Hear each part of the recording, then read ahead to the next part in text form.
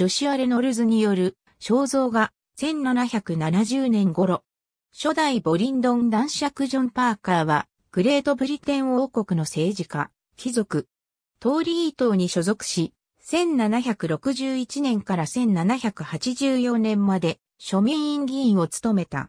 ジョン・パーカーと妻キャサリン、初代ポーレット伯爵ジョン・ポーレットの娘の息子として1735年頃に生まれた。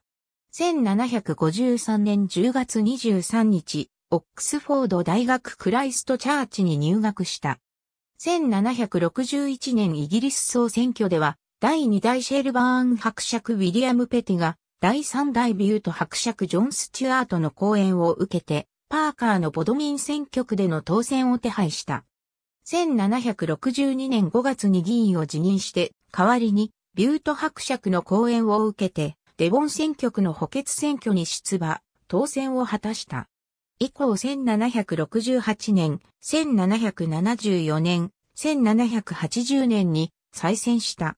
ヘンリー・フォックスが1762年12月に作成した議員リストによれば、7年戦争の予備、講和条約を支持した。1764年2月に一般逮捕状をめぐる採決で野党に同調して投票した。この時期に作成された議員リストでは分類が異なることが多く、初代ニューカッスル公爵、トマス・ペラム・ホリスの分類では確実なとも、第2代ロッキンガム公爵チャールズ・ワトソン・ウェントワースの分類では、支持とチャタム派とされた。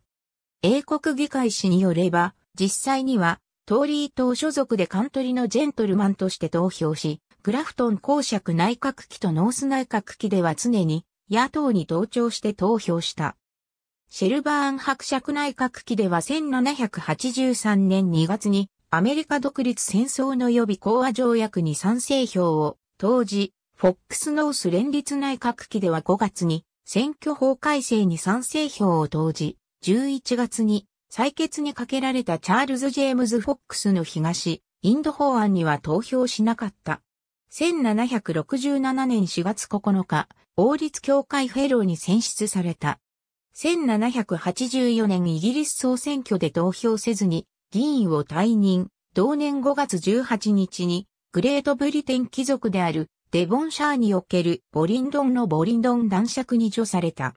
1788年4月27日、デボンにある自邸で死去、息子ジョンが爵位を継承した。二人目の妻、テリーザの肖像画。ジョシュア・レノルズが1770年から1772年頃。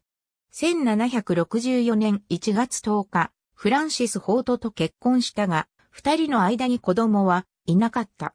1769年5月18日、テリーザ・ロビンソンと再婚、一男一女を設けた。ボリンドン男爵は、下記の優勝馬を所有した。ありがとうございます。